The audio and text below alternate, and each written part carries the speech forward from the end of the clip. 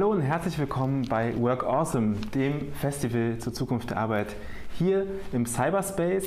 Vielen, vielen Dank, dass Sie auch heute wieder dabei sind, dass ihr eingeschaltet habt. Wir haben heute wieder ein wahnsinnig spannendes Thema vor der Nase und einen ganz großartigen, fantastischen Gast.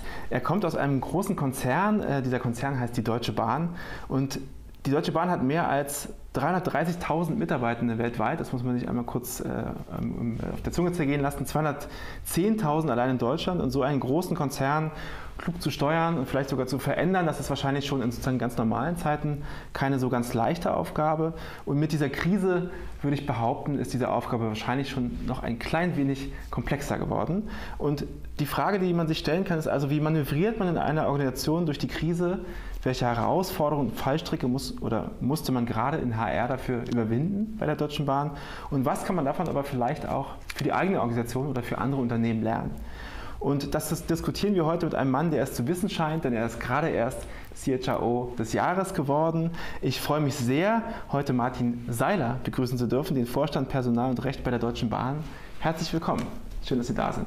Ja, freue mich sehr. Dankeschön für die Einladung. Ja, ähm, springen wir doch gleich mal rein. Ich, man kommt gar nicht drum herum, diese Frage sozusagen am Anfang so einmal zu stellen in diesen verrückten Zeiten. Seit März leben wir alle in Zeiten dieser Pandemie und so wie es aussieht, geht es ja noch ein bisschen, auch wenn es ja ein paar Hoffnungsschimmer am Horizont zu geben scheint.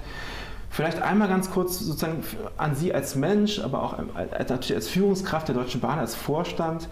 Ähm, was war so die bemerkenswerteste Erfahrung oder auch die schwierigste Entscheidung in der Zeit, seitdem dieser, ja, dieser Moment gekommen war, äh, in dem der Virus auch in Deutschland oder in Europa sozusagen sich äh, um sich griff und damit auch unsere Welt ja fundamental verändert hat?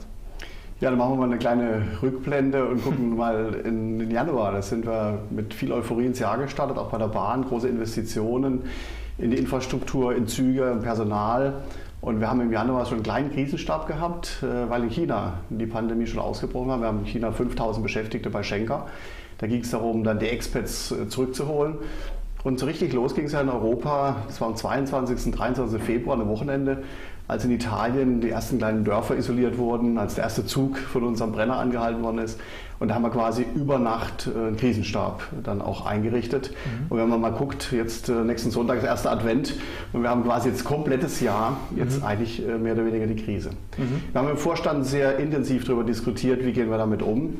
In der ersten Phase ging es darum, den Krisenstab zu etablieren, im Prinzip mit fünf Strängen. Das eine ist alle betrieblichen Fragen, Gesundheitsschutz, Kommunikation intern und extern, die Frage von IT spielt eine ganz große Rolle mhm. und aber auch das Thema Beschaffung. Das waren die wesentlichen Inhalte des Krisenstabs, den verantworte ich äh, bei der Deutschen Bahn im Vorstand und wir sind seitdem 24-7 im Einsatz. Mhm. Inhaltlich gesehen haben wir eigentlich nur zwei Ziele, die wir verfolgen. Das eine ist das Thema Gesundheit. Gesundheitsschutz für unsere Mitarbeitenden, aber auch für unsere Kunden. Mhm. Und das Zweite ist den Betrieb, die Mobilität in Deutschland aufrechtzuerhalten, was ja eigentlich unsere Kernaufgabe ist. Mhm. Und so die wesentliche Entscheidung, und da waren viele Entscheidungen zu treffen, äh, gerade am Anfang, da glaubt man dann, man hat für alles irgendwie äh, ein Rezept in der Schublade. Und da haben wir vieles aber aufbauen müssen. Bemerkenswert finde ich und bis zum heutigen Tage, wir haben ein eigenes Testlabor aufgebaut. Das heißt, wir können innerhalb von sechs bis acht Stunden Tests durchführen, und zwar Schnelltests, die ganz normalen PCR-Tests, aber auch Antikörpertests, sodass wir wirklich auch schnell Klarheit schaffen können für unsere Beschäftigten. Und das ist sicherlich eine Errungenschaft in vielen, vielen anderen, aber das ist, glaube ich, schon sehr bemerkenswert, mhm. dass wir als Deutsche Bahn in einem Status wie ein Gesundheitsamt sowas installiert haben. Mhm. Was, was mich ja immer sehr interessiert oder, oder auch unsere Teilnehmenden oder unsere Zuschauer sehr interessiert, sind ja so die, die organisationalen Folgen dieser Krise. Also wie hat diese Krise tatsächlich auch Organisationen selbst verändert und ein entscheidender Punkt ist ja, wie Entscheidungen getroffen werden oder auch nicht. Ja? Und was ich spannend finde, wäre nochmal zu schauen, wie das bei der Deutschen Bahn läuft. Ja? Also in vielen Organisationen hat man gesehen, erlebt die Hierarchie so ein bisschen in eine Renaissance. Ja? Also man brauchte schnell Orientierung und dann schaut man eben dahin, wo man auch gewohnt war zu schauen, vielleicht auch aus älteren Zeiten. Und gleichzeitig erzeugt aber auch Unsicherheit natürlich viele Führungschancen für andere, die eigentlich vielleicht gar nicht bisher in der alten Hierarchie so einen Platz hatten. Wie erleben Sie das? Also wie hat sich Entscheidungsfindung, wie hat sich vielleicht auch das Verhältnis zu Hierarchie ähm, in der Deutschen Bahn verändert durch die Krise? Ja, das ist eine ganz spannende äh, Erfahrung, die wir da gemacht haben. Natürlich ist es in der Krise so, dass man dann schon äh, zusammenrückt. Und ich war auch wirklich beeindruckt, wie wir bereichsübergreifend äh, da schnell auch reagiert haben. Und manche Entscheidungswege sind in so einem großen Konzern natürlich manchmal ein bisschen langwieriger, aber in der Krise haben wir gesehen, mhm. dass bereichsübergreifend sehr eng und sehr schnell zusammengearbeitet worden ist. Es sind aber auch äh, Dinge die, des Alltags, äh, die wir da erleben. Also viele Beschäftigte von uns sind im operativen Bereich tätig, sind draußen. Die haben es letztlich mit Hygienevorschriften zu tun gehabt. Die Prozesse wurden äh, verändert. Wir mussten Schichtwechsel anders organisieren. Äh, und bis zuletzt, äh, wo es auch um die Einhaltung von Mund-Nasenschutzbedeckung ging. Also auch da ganz neue Themen.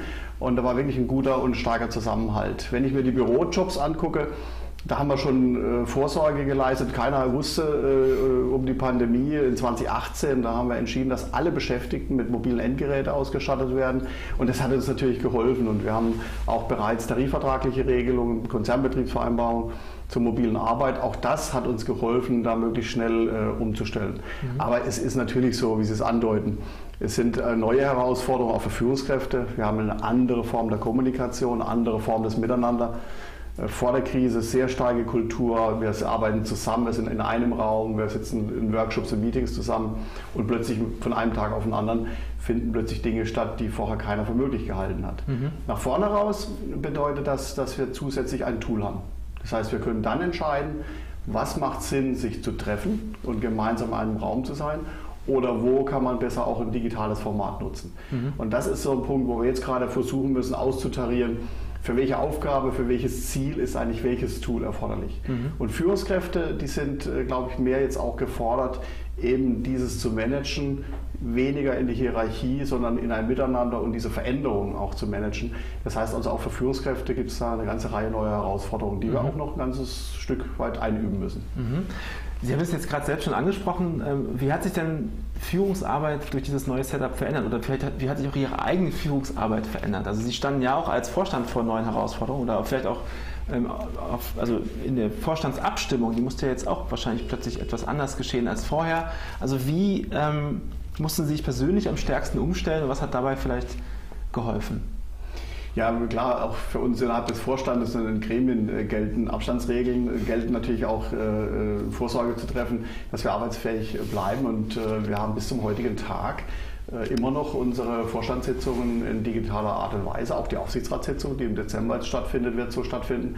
Das ist eigentlich gut und richtig. Das heißt, wir müssen auch darauf achten, dass wir eben nicht durch Kontakte eben die Gesundheit zusätzlich gefährden. Für die Führung selber ist es natürlich schon eine Herausforderung, dass es jetzt plötzlich auf Distanz geht. Das heißt, wir müssen anders miteinander kommunizieren. Gerade für neue Mitarbeitende ist es auch dann nicht einfacher reinzukommen.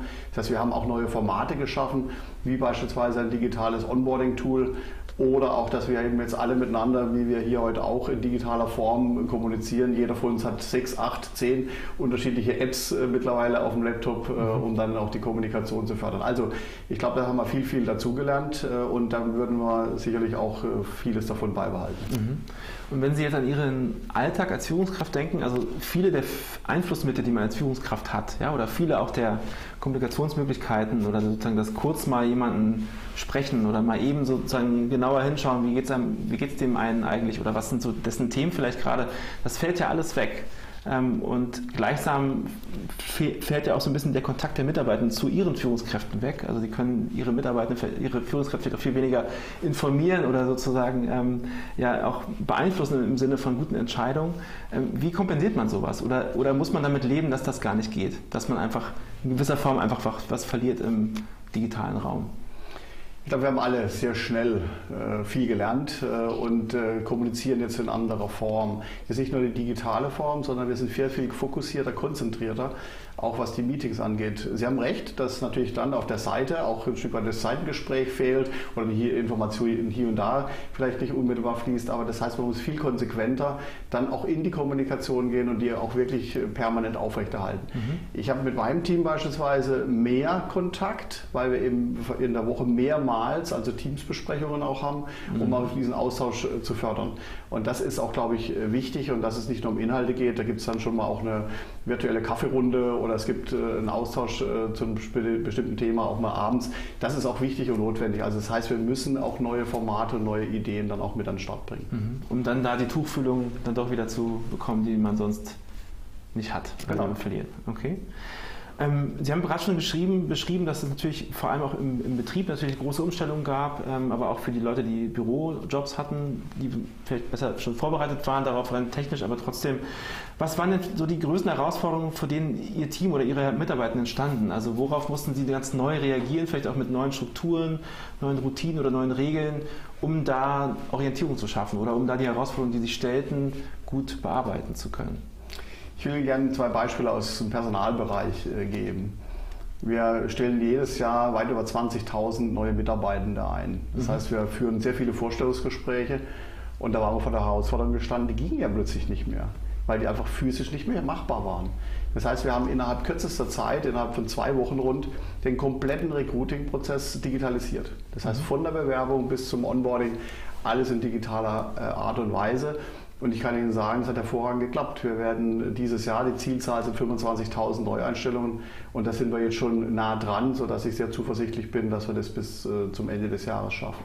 Mhm. Zweites Beispiel, wir konnten natürlich äh, in der Qualifizierung, wo wir auch sehr viele Präsenzschulungen haben oder in der Ausbildung, eben dies auch nicht mehr durchführen. Das heißt, auch dort sind wir sehr stark in Digitalisierung gegangen. Und da geht es ja nicht nur um die Endgeräte. Es geht ja auch um die Inhalte, die digitalisiert werden müssen. Mhm. Und ich kann Ihnen sagen, auch äh, nicht nur bei der Bahn, sondern darüber hinaus, sind das dann Riesenherausforderungen, weil man ja auch dort in einer ganz anderen Form lehren muss. Und das geht bis in den Hochschulbereich hinein, wo dann auch die Frage äh, gestellt wird, wie kann ich Elemente schaffen, dass ich zum Beispiel eine Zusammenarbeit fördere, wie kann ich digitalisieren. Und das haben wir auch äh, sehr stark getan. Das heißt, wir haben mittlerweile weit über 50 Prozent unserer Schulungsinhalte digitalisiert und arbeiten dort auch in anderen äh, Formaten zusammen. Mhm. Jetzt haben Sie gerade schon angesprochen, das Recruiting-Thema war natürlich riesig. Ähm, ähm, wenn man 20.000 Menschen im Jahr einstellt, dann ähm, ist das eine große Herausforderung, wenn man plötzlich keine ja, äh, Bewerbungsgespräche mehr machen kann, etc. Ähm, wie funktioniert Recruiting denn in Zeiten einer Pandemie? Also welche neuen Werkzeuge oder Strategien, die Sie da gefunden haben oder entwickelt haben, haben Ihnen da schnell geholfen? Das würde mich tatsächlich nochmal äh, interessieren.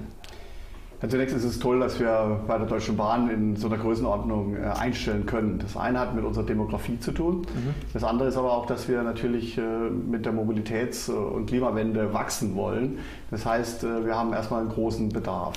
Mhm. Was wir sehen, und das äh, hilft uns ein Stück weit, dass wir auch sehr viele Bewerberinnen und Bewerber haben, die genau aus diesem Grund, nämlich ich möchte einen sinnhaften Job, ich möchte Teil dieser Klimawende und dieser, dieser Veränderung sein, dann doch tatsächlich äh, für Jobs bei uns äh, interessieren.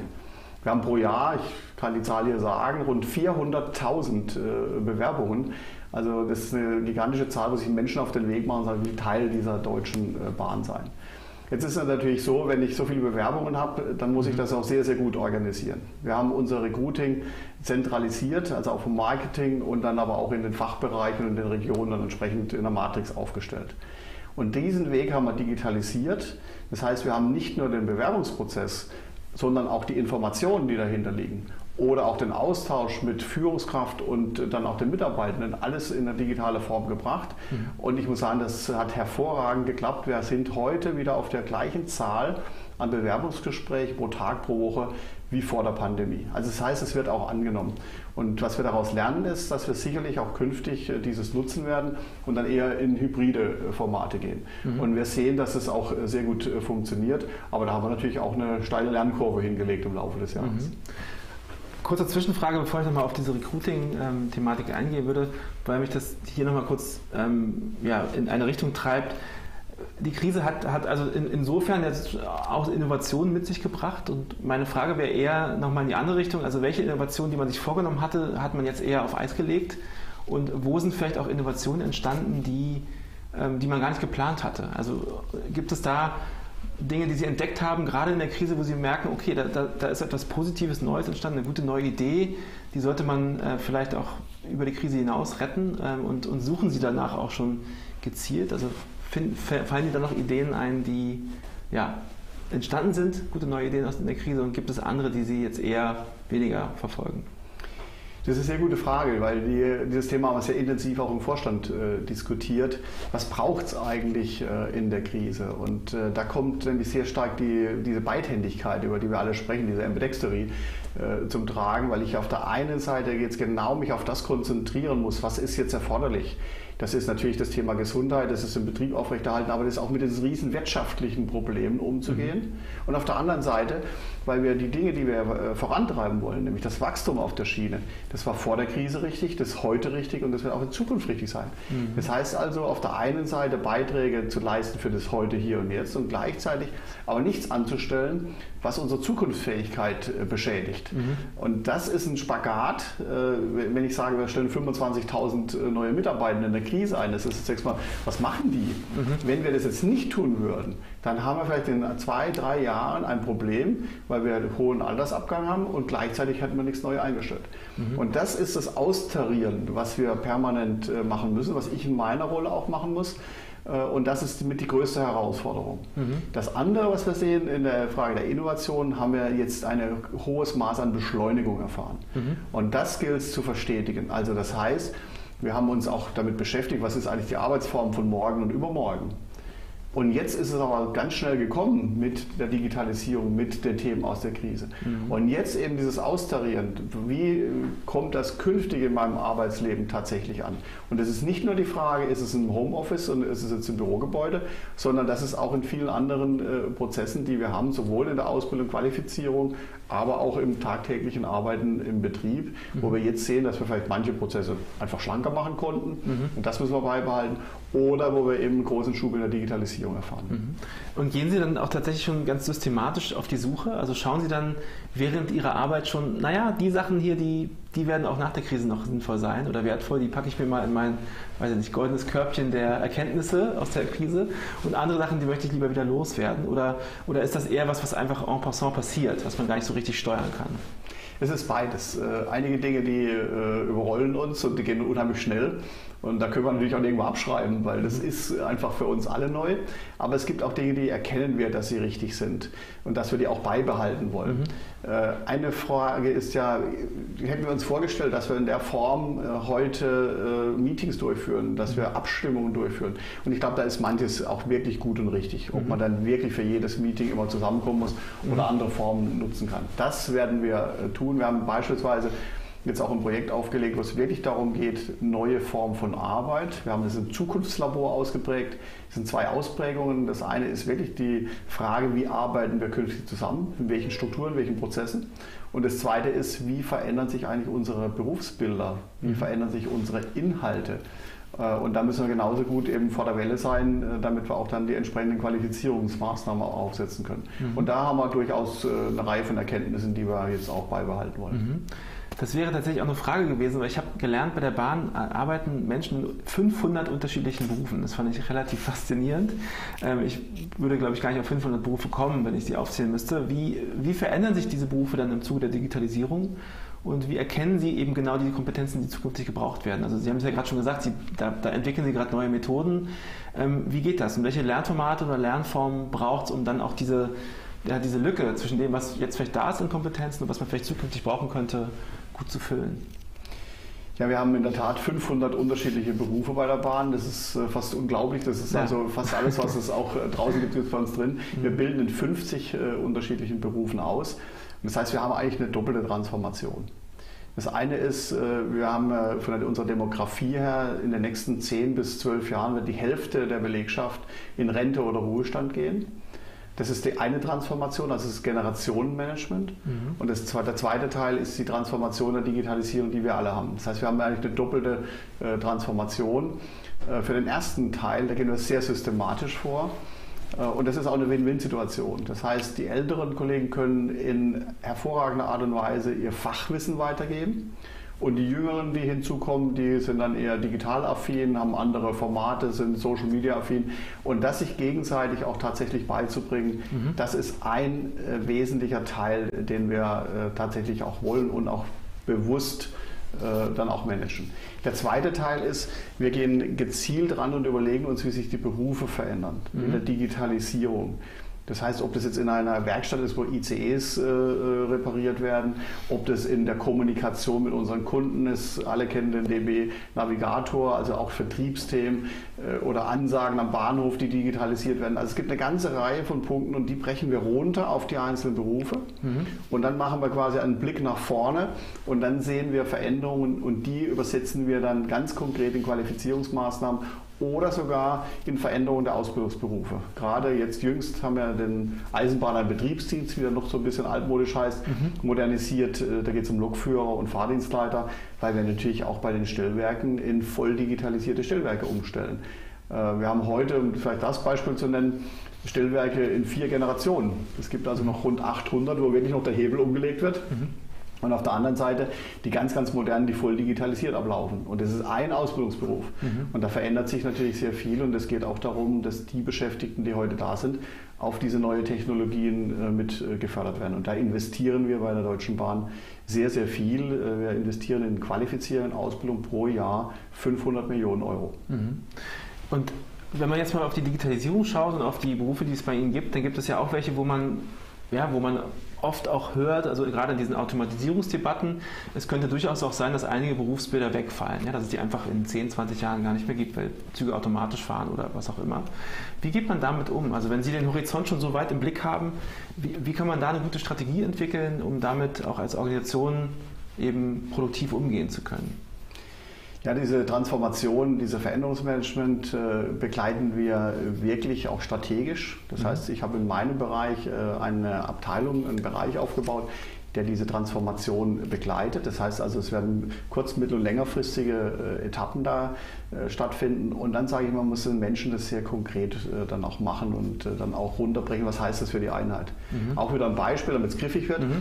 Wir haben bei uns die Reisekostenabrechnung im Personalbereich komplett digitalisiert. Mhm. Da waren vorher fast 500 Leute beschäftigt. Das heißt, die werden heute übers Handy eingegeben, die Daten, und bis das Geld auf dem Konto ist, fasst es kein Mensch mehr an. Mhm. Das heißt, dieser Umstellungsprozess, den haben wir mit den Menschen begleitet. Die sind heute in anderen Bereichen des Personalservice tätig. Mhm. Oder wir haben auch eine interne Arbeitsvermittlung. Das ist der DB Job Service. Das ist eine Einheit, die dann auch tatsächlich mithilft, vornherein zu sehen äh, in der Personalplanung, wo gibt es künftig Felder, die man nicht mehr in dem Umfang braucht oder die eben digitalisiert oder auch wegfallen, mhm. um dann frühzeitig in einem anderen Bereich für Beschäftigung zu sorgen. Jetzt sind wir in der glücklichen Lage. Wir haben es gerade erwähnt, wir haben 500 äh, unterschiedliche Berufe. Mhm sodass es auch gute äh, Entwicklungsmöglichkeiten gibt. Äh, und das ist wiederum der Segen von so einem breit aufgestellten äh, Konzern und das auch eben übergreifend zu managen. Das ist für uns eine ganz wesentliche Aufgabe im Personalbereich, dass es eben nicht nur im Silo betrachtet wird, in einem einzelnen Geschäftsbereich, mhm. sondern dass wir das Geschäftsfeld übergreifend aufgebaut haben. Okay. Bevor ich meine nächste Frage stelle, einmal kurz auch nochmal der Hinweis, man kann gerne Fragen stellen äh, auf YouTube in den Kommentaren. Ich habe ähm, das hier im Blick und nehme die Fragen dann gerne mit aufs Panel. Also gerne hier Fragen stellen, dann kann Herr Seiler die gleich äh, beantworten. So ist das. Aber vorher frage ich nochmal eine Frage. Ähm, Nochmal so, so, ein kleiner thematischer Schwenk. Sie haben gerade gesagt, ähm, Sie stellen sozusagen 25 oder 20 bis 25.000 neue Leute ein jedes Jahr und ähm, das schafft sozusagen ja eine, eine völlig neue äh, Vielfalt auch im Unternehmen. Also wir treffen dann ganz, ganz junge Menschen, bei ihnen kann man ja auch schon sehr jung anfangen sozusagen, auf andere, die schon seit Jahrzehnten in der Organisation sind. Das ist vielleicht so mal eine Art von Vielfalt, die entsteht, aber auch noch viele andere Formen von Vielfalt oder Diversity. Ähm, wie geht man damit um? Also welche Konflikte entstehen da vielleicht bei der, bei der Bahn oder ist, ähm, gibt es die? Und ähm, wie schafft man eine gelungene Integration all dieser neuen Leute, also jedes Jahr 20.000 neue, äh, in so eine Organisation, ohne dass es da Reibungen gibt? Ja, wir sind natürlich äh, ein Unternehmen, das vielfältig ist. Wir sind äh, mit 210.000 Beschäftigten in Deutschland äh, natürlich auch Spiegelbild der Gesellschaft. Wir haben bei uns vier Generationen mhm. quasi unter, unter einem Dach. Und deswegen haben wir uns auch genau diesem Thema in der Strategiediskussion gestellt. Das Thema Diversity, Vielfalt ist bei uns in der Dachstrategie des Konzerns fest verankert. Mhm. Und wir haben das auch ausgeprägt in verschiedensten Dimensionen von Diversity. Es ist eben nicht nur am Ende Gender oder es ist nicht nur Generationsmanagement, sondern das sind auch so andere Themen wie soziale Herkunft, mhm. wie sexuelle Orientierung. Das sind auch Themen, die wir bei uns betrachten. Äh, und wir haben im Vorstand sieben Dimensionen ausgeprägt. Jedes Vorstandsmitglied ist für eine Dimension verantwortlich. Ganz neu in diesem Jahr soziale Herkunft, mhm. weil wir immer noch sehen, dass gerade bei Bildung, bei Entwicklung, das immer noch eine große Rolle spielt und das darf es eigentlich nicht mehr der Fall sein. Und da geht es nicht nur darum, dass ich sage, jeder muss Akademiker werden. Es geht darum, dass jeder im Prinzip die Chance dazu hat. Wenn man sich als dieses Beispiel mal nimmt, 77 äh, Prozent äh, der Akademikerkinder studieren und bei Nicht-Akademikerkindern sind es 23 Prozent. Mhm. Da sieht man schon, dass da äh, auch durchaus ein Thema ist und wir haben im Konzern das besetzt, dass wir beispielsweise junge Menschen an Ausbildung heranführen über viele Jahre über das Thema Chance Plus. Wir haben Integration von Geflüchteten. Wir haben jetzt ein Programm aufgesetzt, wo es darum geht, äh, Langzeitarbeitslose zu integrieren. Also verschiedenste Themen äh, von Diversity und Vielfalt. Jetzt will ich nicht äh, sagen, was jeder weiß, dass Diversity Teams erfolgreicher sind wie andere. Das ist so, das wissen wir längst und es geht eben darum, dass wir genau uns diesem Thema widmen und das tun wir sehr organisiert und da bedienen wir eben alle Dimensionen, nicht zuletzt auch natürlich das Thema Frauen in Führungspositionen. Wir haben uns jetzt mitten in der Krise ein neues Ziel äh, gesetzt, 30 Prozent. Wir haben jetzt ungefähr 20 Prozent bis 2024, also da auch nochmal gehörig äh, zuzulegen. Und das ist uns in der Tat ein großes Anliegen und das haben wir bei uns in der Strategie, in der Konzernstrategie fest verankert äh, und ist für uns auch ein ganz, ganz wesentliches Thema. Mhm. Also wenn man Vielfalt sozusagen als Wert äh, ausruft oder für sich erkennt als, als wichtigen Wert, wie schafft man es, dass der dann sich tatsächlich auch in die Organisation trägt? Also wie schafft man es, den tatsächlich auch zu übersetzen in, in tägliches Tun oder vielleicht in tägliche ja, Standards oder Regeln, sodass es nicht nur bei einem, weiß ich nicht, netten Poster bleibt, sage ich mal, oder bei, einem, bei einer schönen Rede, sondern dass sich das tatsächlich übersetzt in, in, den, ähm, in die Realitäten innerhalb der Organisation. Wie kann man das hinkriegen? Also ich glaube, ein ganz entscheidender Punkt war und ist, äh, dass sich der Vorstand äh, da eindeutig äh, dazu committet, dass wir es in der Dachstrategie verankert haben und es ist es eben nicht allein, dass wir dann nur das in PowerPoint bannen, sondern mhm. dass wir sagen, wir tun da tatsächlich was damit. Mhm. Und wir haben in all diesen Dimensionen, ich habe jetzt gerade soziale Herkunft als Beispiel genannt, haben wir konkrete Maßnahmen hinterlegt, wo man mhm. tatsächlich sieht, da passiert was. Das ist nicht nur eine Sonntagsrede, sondern es ist tatsächlich äh, in der Übersetzung. Natürlich kommt das nicht von alleine. Das heißt, es geht sehr viel auch über Kommunikation. Wir haben jetzt äh, vor zwei Wochen eine Woche auf Diversity gehabt. Eine komplette Woche hat sich der Konzern mit diesem Thema auseinandergesetzt. Jeden Tag ein anderer Schwerpunkt konzernweit äh, tatsächlich auch gelaufen. Und das sind dann schon Punkte, wo klar ist, der Vorstand will das, wir sehen das, wir fördern das. Und äh, was wir da Tolles erleben, ist, äh, dass da viele Kolleginnen und Kollegen plötzlich erwachen und sich dann auch zu bestimmten Themen bekennen, ihre Beispiele reintragen und das äh, fördert auch viel an Motivation und an Bindung. Und im Übrigen ist das auch ein Element, wo viele mittlerweile erkennen, jawohl, die Bahn lebt Vielfalt, ich möchte auch Teil dieser Community sein. Also es mhm. hat viele, viele Facetten und ich glaube, es steht uns gut zu Gesicht, dass wir das noch stärker auch nach vorne spielen. Mhm. Ich will jetzt mal ähm, vielleicht die erste Frage aus dem Publikum einfach mal so reinwerfen, wenn ich darf. Ähm, und zwar fragt äh, Iris, ähm, unabhängig von Corona, wie verändert sich das Bild von Führung aus Ihrer Sicht in den nächsten Jahren? Also vielleicht, welche Kompetenzprofile, ich ergänze das jetzt einfach mal, entschuldige Iris, welche Kompetenzprofile könnte es brauchen oder welche neuen Arten von Führung werden sich durchsetzen? Was ist da Ihr Blick drauf? Also ich glaube, ganz entscheidend ist, dass äh, die Führungskräfte jetzt nicht mehr so wie althergebracht, die müssen alles besser wissen und äh, müssen nur noch top-down führen, sondern es wird eher sein, äh, dass der Führungskraft Transformationsbegleiter sein wird und dann eben diese schnellen Veränderungen. Wir haben ja gigantische Veränderungen, die sehr schnell kommen und in großem Umfang kommen. Und diese Transformation äh, zu begleiten und äh, die Beschäftigten da entsprechend auch mitzunehmen und Orientierung zu geben, das ist, glaube ich, dringend notwendig und wird auch das Thema einer Führungskraft äh, verändern. Mhm. Es geht nicht nur darum, Feedback zu geben, sondern Feedback zu nehmen. Es geht darum, auch als Team zu fungieren, ein Team nach vorne zu prägen.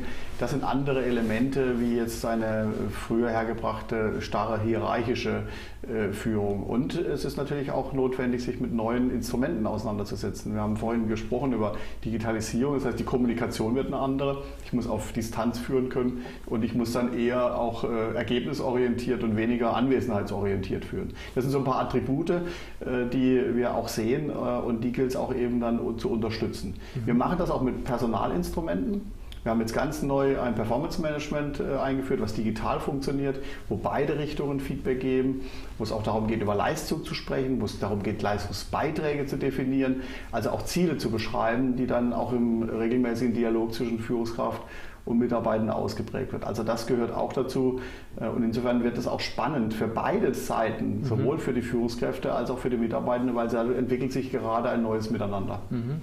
Und wie schafft man es denn, also wenn man jetzt als Organisation sich überlegt oder vorstellt, ähm, welche Art von Führungskräfte Kräfte man sich wünscht oder welches Verhalten man sich vielleicht eher wünscht, wie kriegt man die dazu, sich zu verändern oder kriegt man sie eigentlich dazu oder muss man das eher über die Verhältnisse herstellen, dass das Verhalten, was man sich wünscht, äh, in Organisationen wahrscheinlicher wird oder eher anzutreffen ist, als wenn man es eher sozusagen durch, weiß nicht, einen Appell versucht oder durch ähm, eine Kampagne oder ähnliches.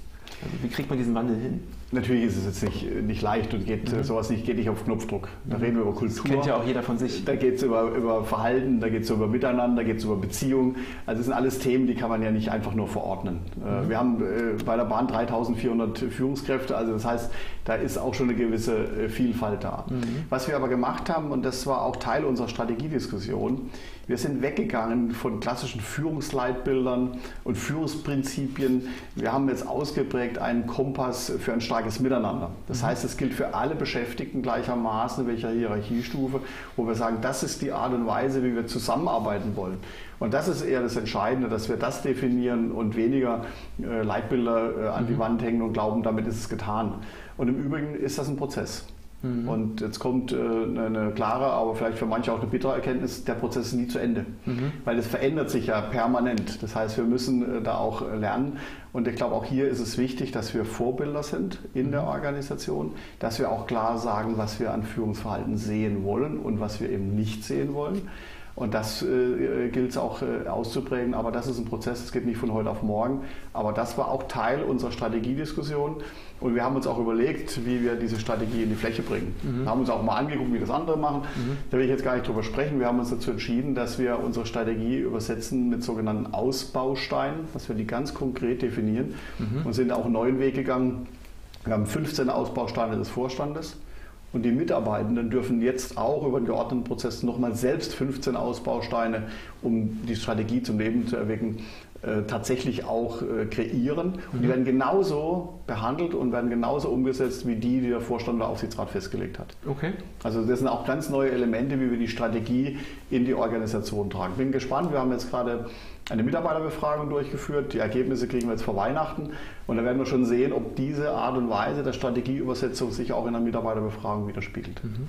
Und wird das dann übersetzt sozusagen in neue Feedback-Tools und, und, sozusagen neue Diskurse, die man anlegt? Oder gibt es dann tatsächlich auch den Versuch, ähm, diese, ja, die, dieses neue Verständnis von wie Führung sein soll oder wie man miteinander überhaupt sich behandelt in, in der Organisation, wird das auch in irgendeiner Form übersetzt in, in, in, formale Prozesse oder Strukturen? Also gibt es da eine Übersetzung in das, wie man sich dann auch einfach tatsächlich zum Beispiel in den Anreizstrukturen oder in den, in den äh, Profilen, die man, äh, die man sucht, um Führungskräfte auszuwählen, wird das auch da hinterlegt? Das würde mich nochmal interessieren, weil mich sozusagen grundsätzlich die Frage antreibt, wie man diesen Wandel, den Sie ja auf ganz vielen Ebenen Bahn auf so skalierter Ebene äh, schaffen müssen, wie man den eigentlich tatsächlich in die Organisation bekommt.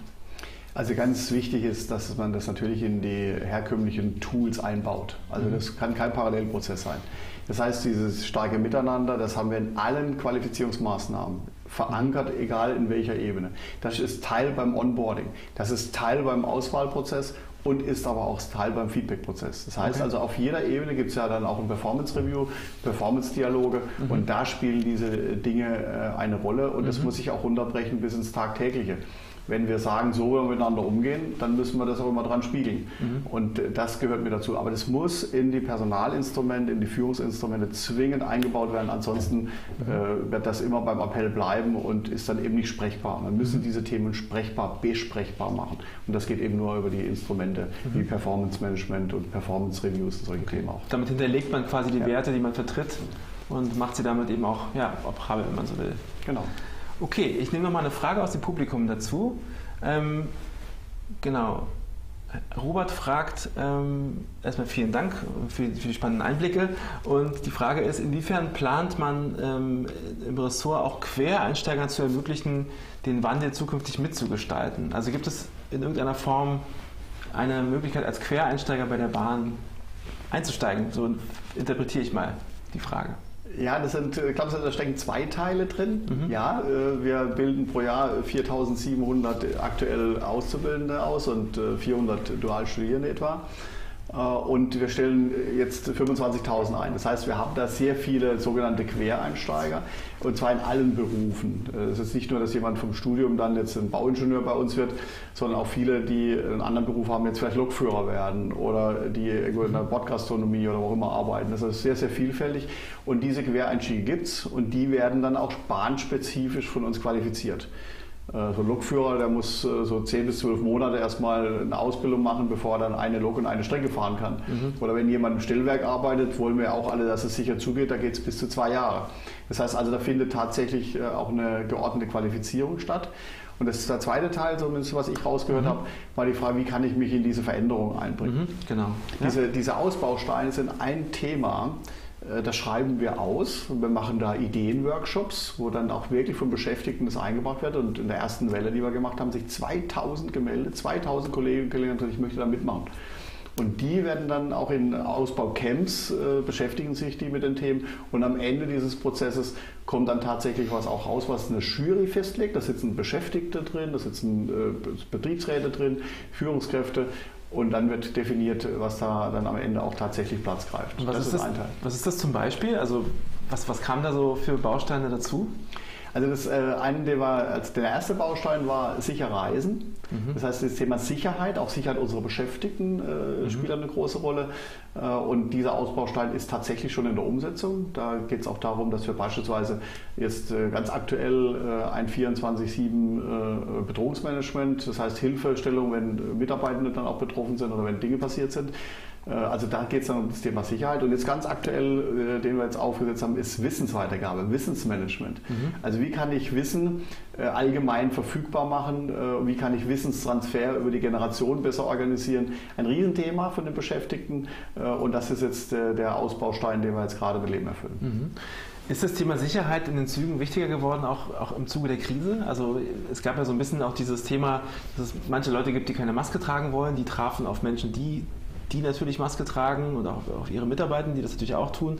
Also ist das, hat das was mit der jetzigen Situation zu tun oder ist Sicherheit in Zügen ohnehin ein Thema, was immer wichtiger wird, aus irgendwelchen Gründen? Ja gut, äh, das also, ist Dass das jetzt gerade gewählt wird, ist ja spannend. Ja, das ist äh, sicherlich auch so ein Stück weit äh, Spiegel, was äh, gesellschaftlich äh, passiert. Natürlich mhm. Äh, haben wir bei uns auch eine eigene Sicherheitsfirma, aber für die Beschäftigten ist ja das eine ist ja die tatsächliche Sicherheit, eine gefühlte Sicherheit und wie kriege ich dann auch gegebenenfalls mhm. Unterstützung. Äh, und aktuell haben wir natürlich äh, auch das Thema Mund-Nasenschutzbedeckung. Deswegen war es uns auch wichtig, dass das auch eine Aufgabe letztlich der Bundespolizei ist. Äh, und das ist jetzt auch gemeinsam so, aber da haben wir auch Interventionsteams, die dann auch gemeinsam versuchen, Aufklärung zu betreiben. Und das sind wir entsprechend aufgestellt. Aber das sind Themen, wo wir auch sehr, sehr ernst nehmen. Und wenn die Mitarbeitenden sagen, das ist für uns ein relevantes Thema, dann ist es Auftrag für uns, dass wir uns mhm. darum kümmern. Mhm. Und was es dann konkret ist, das gestalten wir dann eben in die diesen Ausbau Camps ein und so kann sich jeder oder jede auch einbringen. Darüber hinaus haben wir ein sehr, sehr aktives Intranet bei uns DB mhm. Planet, mhm. wo auch sehr viele Diskussionen äh, zu allen möglichen Themen stattfinden. Und gerade jetzt in der Krise äh, haben wir dort äh, auch ein sehr, sehr großes Kommunikationsbedürfnis, was wir über diesen Kanal befrieden. Und äh, wenn man sich mal äh, überlegt, das sind 160.000 Beschäftigte mhm. in einem sozialen Netzwerk, mhm. Äh, ich sage jetzt mal Facebook der Bahn, zusammengebunden und da werden aktuelle Themen entsprechend diskutiert und wir als Vorstand beteiligen uns auch in diesen Diskussionen. Okay, also der Diskurs geht sozusagen permanent weiter. Ja. Mhm. Rabea fragt ähm, nochmal mit Bezug auch auf die, äh, auf die 30 Prozent Frauen in Führungspositionen als Zielbild, ähm, ob es nicht etwas mehr sein könne. Also ob man nicht auch äh, 50 Prozent als ein realistisches Ziel bis 2024 sich vornehmen könnte oder wäre das zu ehrgeizig? Wir müssen mal einmal auf die, auf die Bahn schauen, wo wir mhm. herkommen, was wir für ein Unternehmen sind. Äh, war natürlich traditionell sehr technisch geprägt, sehr männerdominiert. Äh, und es gab ein Ziel, was äh, sich der Vorstand vor meiner Zeit schon gegeben hatte, nämlich 20 Prozent zu schaffen, kommen von 10, 11, 12 Prozent. Mhm. Und dieses Ziel ist früher erreicht worden und wir haben uns jetzt vorgenommen, bis 2024 30 Prozent. Das sind 10 Prozent mehr. Mhm. Äh, das bedeutet, äh, dass wir rund 70 Prozent der frei werdenden Stellen dann auch mit Kolleginnen äh, besetzen müssen und wollen, um dieses Ziel zu erreichen. Das heißt, ich muss ja immer noch einen fairen Auswahlprozess organisieren. Ich muss mir natürlich ein ambitioniertes Ziel geben, aber es darf ja nicht nur dabei bleiben, sich Ziele zu geben, sondern dahinter, wie mhm. vorhin bei einem anderen Thema auch, müssen Maßnahmen liegen. Mhm. Und wir beginnen da schon äh, im Prinzip bei der Ausbildung, dass wir beispielsweise jetzt Programme aufgelegt haben, um junge Frauen an technische Berufe heranzuführen. Denn wenn ich praktisch die sogenannte Pipeline, ich mag das Wort zwar nicht so, mhm. finde, dann komme ich da nicht an. Mhm. Das machen wir jetzt äh, gemeinsam in einer Aktion, nennt sich Scoring Girls, wo Sport zusammengeführt wird, äh, junge Menschen, junge Frauen dann auch äh, in technische Berufe. Bis hin, dass wir natürlich auch sehen, äh, wie wir Talentmanagement nach vorne bringen. Wir haben jetzt eine neue Nachfolgeplanung aufgesetzt, die genau auch eben diese Gender-Thematik mit berücksichtigt. Mhm. Äh, und wir haben auch hier jetzt äh, ganz konkret arbeiten wir an den Arbeitsbedingungen. Es darf ja auch nicht daran scheitern, dass zum Beispiel Führungskräfte in bestimmten Situationen das gar nicht machen können oder wollen. Und ganz neu, wir werden jetzt für Führungskräfte, die in Teilzeit gehen, das ist bei Frauen oft ja immer noch ein Thema, Beispielsweise die betriebliche Altersversorgung zu 100 Prozent weiterzahlen. Also auch solche Arbeitsbedingungen schaffen. Oder zu sagen, wie kann ich äh, jetzt tatsächlich auch äh, Kinderbetreuung sicherstellen. Und wir haben über Leistungsbeiträge gerade gesprochen. Mhm. Jede Führungskraft, jede einzelne Führungskraft bekommt bei uns vorgegeben, dass sie sich selber einen Leistungsbeitrag geben soll zur Förderung von Frauen in Führungspositionen. Okay, was heißt das konkret? Das heißt konkret, dass sich jede Führungskraft sagt, ich nehme mir dieses Thema heraus und ich mache diese Maßnahme, um das zu unterstützen. Mhm. Beispielsweise, ich stelle mich als Mentor zur Verfügung. Beispielsweise, ich äh, gehe gezielt äh, dann an meinem Bereich nochmal los und gucke, wo ich Talente habe. Ich kümmere mich persönlich drum. Das kann vielfältig sein. Äh, aber wir wollen dieses Thema auch stärker verankern und 10 äh, Prozent in vier Jahren äh, ist ein Wort äh, und äh, dazu bekennen wir uns als Vorstand allesamt und werden auch alles dran setzen, das zu schaffen. Mhm. Susanne Salzbrenner fragt, woher Sie sich die Inspiration holen, um den eigenen Horizont in Ihrer Position auch immer wieder zu erweitern. Also ich meine, als Vorstand ähm, ist man ja schon relativ weit gekommen und wahrscheinlich ähm, ja, ist die Frage, was macht man, um dann trotzdem nicht, nicht zu sagen, jetzt bin ich ja hier, jetzt ist doch alles schön, sondern sich sozusagen weiterhin auch zu orientieren nach außen oder vielleicht äh, Richtung Neues? Was machen Sie persönlich, um das zu schaffen? Ja, das ist äh, natürlich äh, schon ein Punkt, woher kommen die Ideen. Man ist meistens ja als, als Führungskraft eher in so einer Rolle, dass man eher alles weiß und muss dann eher so immer alles abgeben. Ich, wenn man meinen Lebenslauf mal anguckt, dann war ich immer dort, wo viel an Veränderung stattgefunden hat, wo viel Transformation stattgefunden hat. Und das ist auch heute äh, mein Antrieb und auch mein Antrieb bei der Bahn, diese große Transformation nach vorne zu bringen. Und da muss man sich sehr stark auch mit Zukunft beschäftigen. Äh, man muss sich sehr stark auch mit der Frage beschäftigen, was ist eigentlich Kern des Ganzen? Und wir wissen, wir wollen eine andere Form von Mobilität. Wir wollen Nachhaltigkeit nach vorne bringen. Wir wollen in eine digitalisierte Welt gehen. Und dann mit offenen Augen äh, durch die Welt zu gehen, sich auch Inspiration äh, holen, sowohl intern wie extern. Deswegen arbeiten wir auch mit Wissenschaft zusammen. Wir sind äh, sehr eng mit Politik zusammen. Wir gucken uns Inland und Ausland an.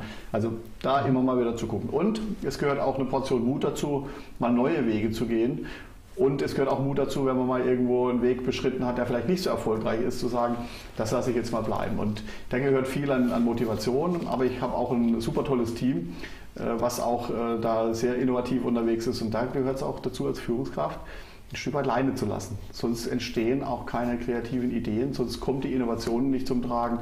Und wenn Sie sich mal, das ist am Außen meist, meistens sichtbar, unsere Rekrutierungskampagnen angucken, wo wir regelmäßig auch Preise dafür bekommen. Das hat was damit zu tun, dass wir ja auch, äh, auch ich als, als, als Vorstand sage, jawohl, geht den Weg, äh, habt eigene kreative Ideen und die machen jeden Monat, macht dieses Team einen Kreativworkshop, jeden Monat, wo immer darum geht, was könnten neue Ideen sein und dann muss man eben auch Vertrauen geben und sagen, dann probiert mal was aus und geht mal einen neuen Weg und das sind die Dinge, so entstehen dann auch Innovationen. Mhm. Eine Frage, die mich umtreibt, ist, sie, stehen ja auch sehr stark so für die, für die Themen, die man so mit New Work beschreiben könnte. Ja, also neue Arbeitsformen und, und äh, ja, neue, neue Arten, ähm, vielleicht auch Arbeit zu, zu also Zusammenarbeit zu gestalten, etc., zu kollaborieren. Ähm, jetzt ist ja New Work, könnte man fast sagen, so ein bisschen von sich selbst überholt worden. Also ganz viele der alten New Work-Themen, alte New Work-Themen, das klingt ein bisschen beknackt, aber der alten Themen, die ähm, für New Work ähm, sozusagen wichtig waren oder die in New Work sozusagen so, so einen Begriff gefunden haben, die sind ja jetzt längst Realität. Ähm, wenn Sie jetzt mal auf die Zeit nach der Krise schauen, was glauben Sie dann ist, ist das nächste New Work? Also was wird sozusagen das, das nächste Neue sein, dass man sozusagen anpeilt in dem Versuch, sich selbst oder auch die Organisation eben innovativ und zukunftsgerichtet auszurichten? Was gehört dazu in diese neue Zukunft, die hoffentlich nach dieser Krise vielleicht irgendwann mal ähm, auf uns zukommt? Da muss ich einen Punkt vorne wegschicken. Der, der, der stört mich auch mal wieder, wenn wir über New Work reden. Mhm. Da reden alle über Büroarbeitsplätze. Wir haben mhm. immer im Fokus die Büroarbeitsplätze. Äh, und dann ist es die Frage von Homeoffice und von Mobile Working. Mhm. Äh, bei uns bei der Bahn ist es so, dass 80 Prozent unserer Kolleginnen und Kollegen, die arbeiten draußen. Mhm. Die sind im Zug unterwegs, die sind in der Werkstatt, die, sind, die können ihre Arbeit nicht zu, zu Hause machen. Also der Lokführer kann seine Lok nicht mit nach Hause nehmen. Das geht äh, noch nicht. Wenn sie dann im Garten stellen oder so, das ist ja nicht die, die Form von Arbeit. Arbeit. Da geht es um was anderes. Da geht es um Teilhabe. Mhm. Es geht um die Frage, wie kann ich teilhaben, wie kann ich Dinge beeinflussen in meinem Arbeitsumfeld. Und das ist an der Stelle vielleicht Fragen von Arbeitszeit, von Dienstplangestaltung, von persönlicher Entwicklung. Und das sind Themen, die müssen wir genauso angucken, wie wir die Frage von Desk-Sharing angucken oder von Mobile Working angucken. Äh, und das ist für mich da auch äh, wesentlich entscheidende Punkt. Und wir haben da Instrumente hinterlegt. Äh, ein Instrument ist beispielsweise, dass bei uns die Beschäftigten wählen können zwischen mehr Urlaub oder mehr Geld. Mhm. Und das ist eine Form der Ausprägung. Bei uns ist ein Wechsel zwischen Vollzeit und Teilzeit und zurück ganz gut möglich. Mhm. Wir sind jetzt dabei, Mobilität zu fördern. Also das heißt auch Fragestellungen, wie kann man besser zur Arbeit kommen. Wir haben äh, Projekte aufgesetzt, wo es um Wohnraum geht, bezahlbaren Wohnraum für die Beschäftigten.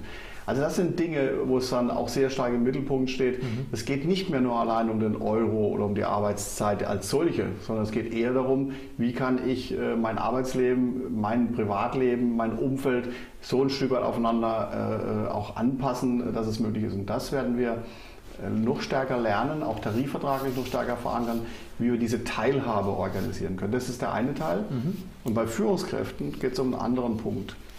Das dürfen wir auch nicht unterschätzen. Das ist das Thema Haltung. Mhm. Mit welcher Haltung gehen wir in diese Form der Veränderung? Und das ist auch ein wesentlicher Punkt, der uns mehr und mehr auch gesellschaftspolitisch noch fordern äh, wird, dass wir Haltung zeigen, um eine bestimmte Richtung zu unterstützen. Und die gehört genauso dazu wie die Frage, wie kann ich Teilhabe organisieren. Für mich ist New Work im breiteren Sinne, wie kann ich die Bedürfnisse der Kunden, des Unternehmens, der Mitarbeiter, kann man jetzt die Reihenfolge beliebig sagen, mhm. in einem Dreieck so zusammenfügen, dass am Ende für jeden ähm, was rauskommt und unterm Strich was rauskommt. Und das ist die Kunst in der Zukunft, das so zu organisieren, dass wir eben Teilhabe in der Arbeitswelt äh, auch wirklich gut unterbringen. Mhm. Und wie kann man das schaffen? Also haben Sie da, gibt es da neue Instrumente oder neue Routinen oder Tricks, die Sie teilen können, wie man das gut hinkriegt? Also denken Sie da über neue Modelle nach, wie man das sozusagen in der Organisation ähm, gut verankern kann? Ja, da müssen wir auch genau auf äh, die Beschäftigten hören oder mhm. die Veränderungen hören. Ich will auch nur ein Beispiel, ich möchte das immer ein Beispiel festmachen, ja. damit es nicht so überschriftsmäßig ja, bleibt. Und so, so, nach dem Motto, äh, der, der, erzählt irgendwelche Ideen, da kommt nichts mhm. mehr rum. Wir sehen, äh, in unserer Belegschaft ist das Thema Wohnen, bezahlbarer Wohnraum ein mhm. Riesenthema. Mhm. Jetzt kann man sagen, ja, liebe Bahn, du hast ja vor 30, 40 Jahren eine eigene Wohnung gehabt. Was ist da passiert?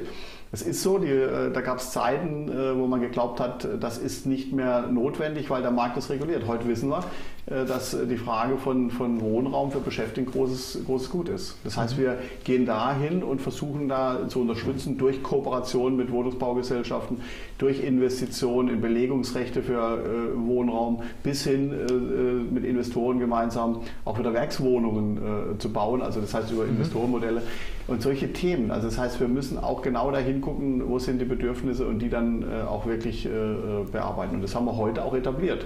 Mhm. Bei uns äh, kann man im Intranet unsere Beschäftigten, übrigens auch Bewerber, äh, drauf gucken, wo gibt es äh, über Kooperation auch bezahlbaren Wohnraum äh, in, in, in, der Großstadt. Mhm. Also neben der Kundenzentriertheit, die ja gerade so ein Buzzword ist, eben auch die Mitarbeitendenzentriertheit quasi mindestens genauso ernst nehmen, wenn man so will. Genau. Ich springe nochmal ins Publikum. Ähm, Christian fragt, oder sagt, der War of Talent ist im vollen Gange. Was ist aus Ihrer Sicht ein Talent und was braucht es, um genau diese Menschen an das eigene Unternehmen zu binden? Talente sind vielfältig. Gerade bei 500 Berufen. Ja, ist total, total vielfältig. Ja.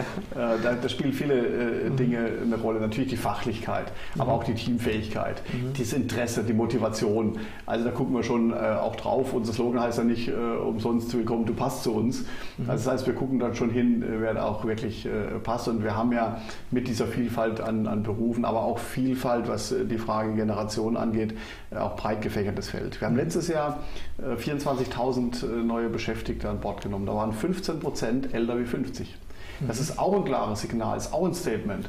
Oder jetzt aktuell sind wir ganz konkret auch dabei, Firmen, die eher Arbeitsplätze abbauen oder gar entlassen müssen, zu unterstützen, indem wir unsere Angebote dort auch vor Ort äh, prominent machen. Und ich will jetzt da keine, keine Werbung machen für, für einzelne Unternehmen, aber es ist branchenübergreifend, wo wir tatsächlich da derzeit auch äh, aktiv unterwegs sind. Mhm. Äh, und die, die Auswahl erfolgt dann wirklich äh, nach der Frage, passt die Kollegin neu, passt die zu uns? Natürlich mit dem fachlichen Hintergrund, aber auch mit der entsprechenden Einstellung. Und da kommt wieder unser Kompass für ein mhm. steigendes äh, Miteinander ins Spiel, ist da auch dieser Wertekanon, diese Ausrichtung äh, entsprechend mitgegeben. Und mhm. das gehört auch dazu, ja.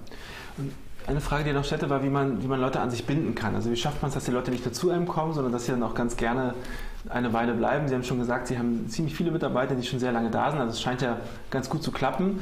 Ähm, wie macht man das? Also was muss eine Organisation tun, um die Leute, die wertvoll sind und die man unbedingt gerne halten möchte, auch wirklich gut halten kann? Es gibt eigentlich, ähm, und das haben wir auch durch eigene Untersuchungen, aber auch extern bestätigt, rausgekommen, es gibt eigentlich nur drei Gründe, mhm. warum jemand zu einem Unternehmen geht oder bei einem Unternehmen bleibt. Der erste Grund ist Sinn. Macht das Sinn, was ich da tue? Und diese Sinnfrage bei uns ist beantwortet. Mhm. Die Bahn macht heute Sinn, die wird in Zukunft Sinn machen. Gerade mit dem Thema Nachhaltigkeit. Und das wird auch gerade bei jungen Menschen immer wichtiger. Ist das, was ich da tue, hat das einen Sinn? Passt das zu meiner Vorstellung oder passt das eher nicht? Das zweite Thema, wir haben auch schon äh, darüber gesprochen, ist das Thema Verantwortung. Mhm. Darf ich da Verantwortung übernehmen? Wird mir was zugetraut? Das ist im tagtäglichen Leben, beispielsweise, ob jetzt jemand bei uns bei DB Dialog, also im Callcenter bei Kunden arbeitet, gibt es da Spielräume in der Entscheidung? Kann ich da mal eine Kulanz geben oder kann ich das nicht? Habe ich da eine Verantwortung? Wird mir was zugetraut? Und der dritte Punkt ist die Frage von Gestaltung. Mhm. Kann ich in meinem Arbeitsumfeld, kann ich äh, bei dem, wie sich das Unternehmen verändert, was mitgestalten? Das ist ein Beispiel, was wir diskutiert haben, die, die, die Ausbausteine. Und die drei Themen, wenn die passen, und das kann sich jeder für sich selber mal fragen. Mhm. Mal kurz zurücklehnen und sagen, was motiviert mich? Und ich sage, es sind drei Punkte. Sinn, Verantwortung und Gestaltung. Und wenn das passt, dann habe ich eigentlich eine relativ gute Bindewirkung. Natürlich kommt dazu, dass gerade in der heutigen Zeit das Thema Arbeitsplatzsicherheit eine große Rolle spielt. Wir haben bei uns einen Kündigungsschutz tarifvertraglich vereinbart.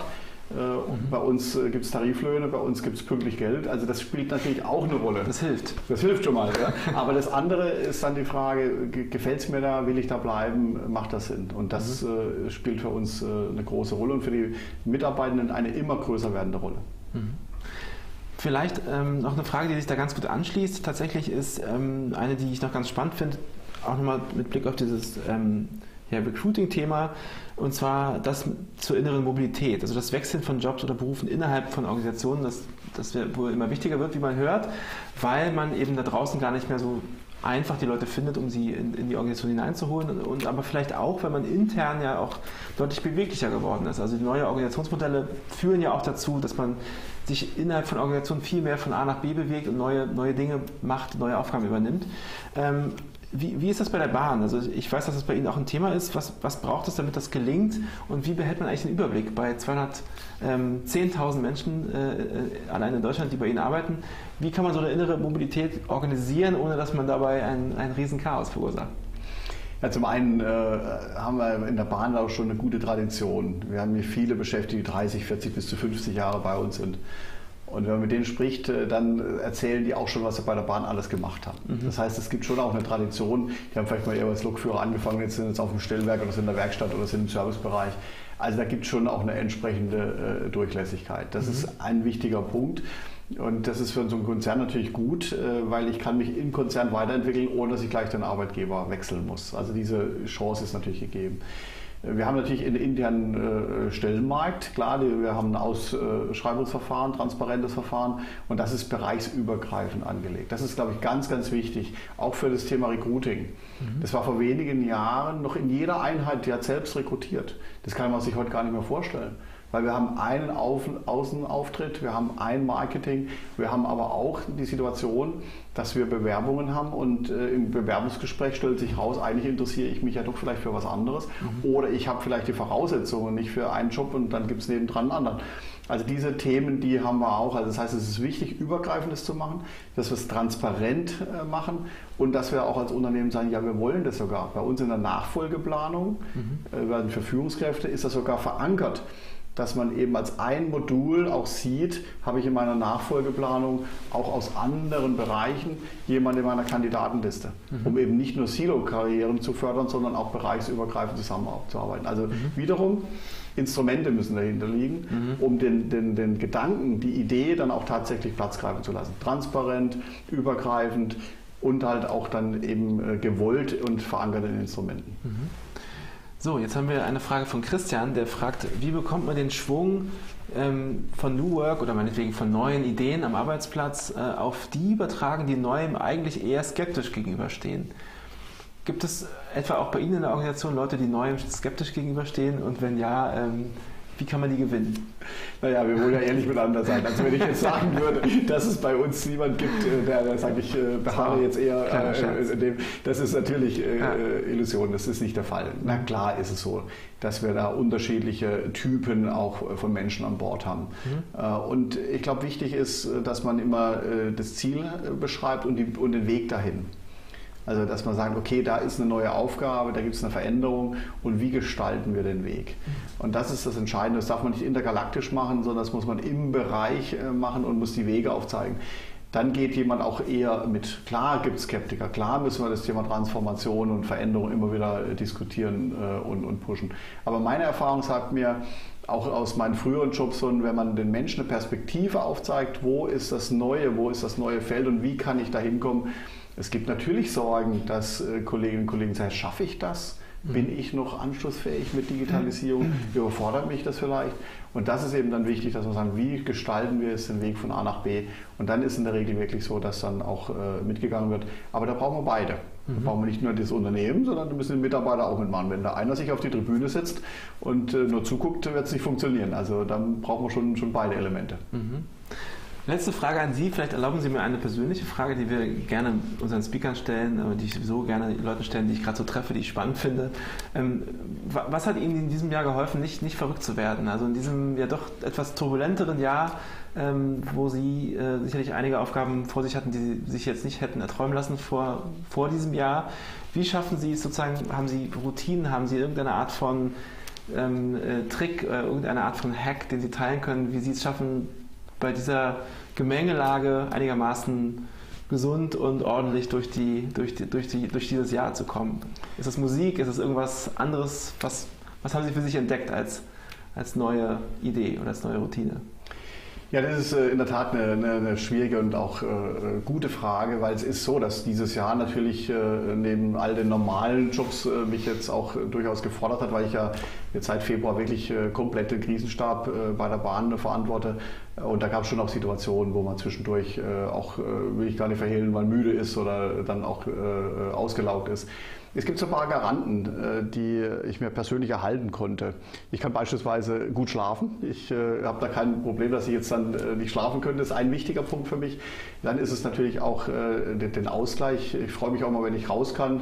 Das heißt, mal draußen auch laufen zu gehen mhm. und das nicht nur allein, sondern mit anderen zu machen. Das ist zum Beispiel auch schön.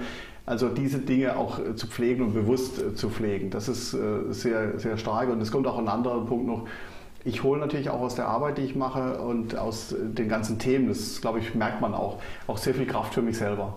Äh, und das dann zu paaren äh, mit auch sich immer wieder Inseln schaffen, auch ob das kleinere sind, vielleicht auch schöne Wochenenden oder was gemeinsam zu machen, das ist auch immer wieder gut, dann zu regenerieren und wieder, wieder Luft zu holen. Und dann ist auch immer wichtig, äh, dass man ein gutes Umfeld hat und auch Menschen im persönlichen Bereich hat, die einen wirklich dann auch toll begleiten. Das ist auch wichtig. Mhm. Wir bedanken uns sehr, sehr herzlich, dass Sie uns heute ein bisschen begleitet haben auf unserem Weg in diesem digitalen Festival zur Zukunft der Arbeit. Das hat sehr viel Spaß gemacht, wir haben sehr viel gelernt. Das war ein äh, spannender Einblick sozusagen in die innere Welt der Deutschen Bahn, die uns ja alle ähm, bewegt. Ähm, zurzeit vielleicht weniger, als uns lieb ist, weil wir nicht so oft von A nach B fahren wie sonst. Aber tausend Dank für Ihre Zeit und ähm, tausend Dank auch äh, an Sie, ans Publikum fürs Zuschauen. Ähm, wir sind diese Woche nochmal auf Sendung mit einer Lesung am Samstag von Alat von Kittlitz. Kittlitz Entschuldigung. Wir freuen uns darauf und ähm, sagen bis dahin Tschüss und vielen Dank nochmal, Herr Seiler. Ich sage Ihnen Dank, Herr Gede. Hat auch Spaß gemacht. Danke. Alles Gute.